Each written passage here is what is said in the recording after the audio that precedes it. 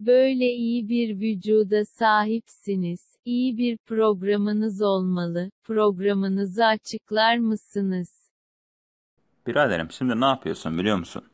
33 liraya güzel bir protein dozu alıyorsun. Karıştırıyorsun muz filan işte. Gidiyorsun salona tam 11 kere şınav çekiyorsun. Bak bura çok önemli. Ondan sonra gidiyorsun tamam mı? 7 kere dumbbell kaldırıyorsun. 3,5 kilo olacak.